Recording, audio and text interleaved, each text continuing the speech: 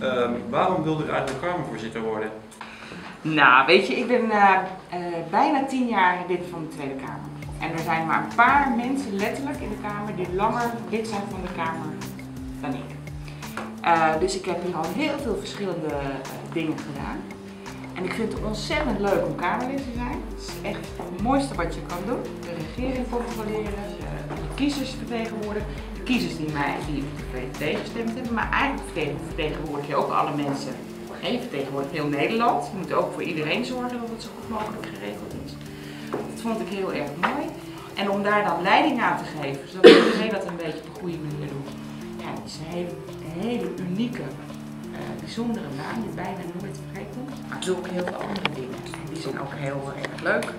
Eh, bijvoorbeeld eh, als er een staatsbezoek is, eh, dan heb ik daar ook een rol in. Dit, dit weekend is er, deze week is er een sta- Vorige week was de parlementsvoorzitter uit Turkije. er. Deze week is de president uit Slowakije op staatsbezoek bij de koningin. Nou, dan moet ik morgen naar het paleis op de Dam. Daar wordt die president ontvangen. En omdat ik voorzitter ben van de Kamer, ben ik eigenlijk de volksvertegenwoordiger. Hè. Vertegenwoordig ik de volksvertegenwoordiger. Dan ben ik erbij. En s'avonds is er dan een staatsbanket. En daar zit ik bij.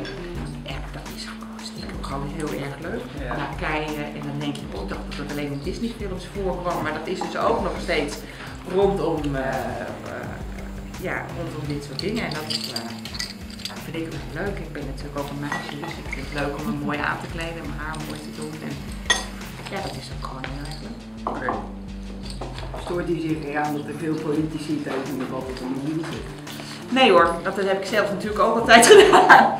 Weet je, jullie zijn ook zo en ik zit thuis ook zo. Ik zit aan mijn eigen kinderen, die kijken televisie en die hebben ondertussen een, eh, een iPad eh, op of een laptop op schoot. En die doen twee dingen. Of die zitten ondertussen met hun vrienden te praten. En zo zijn Kamerleden ook.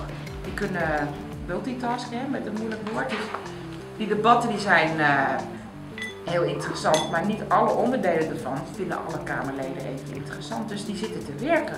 Ze zitten niet, eh, ze zitten niet een beetje te gamen, of misschien doen ze dat ook wel.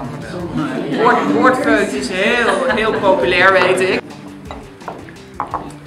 Heeft u nooit zin om uw eigen mening te geven tijdens een debat? Nou, wat dacht je? Ik ben natuurlijk Kamerlid.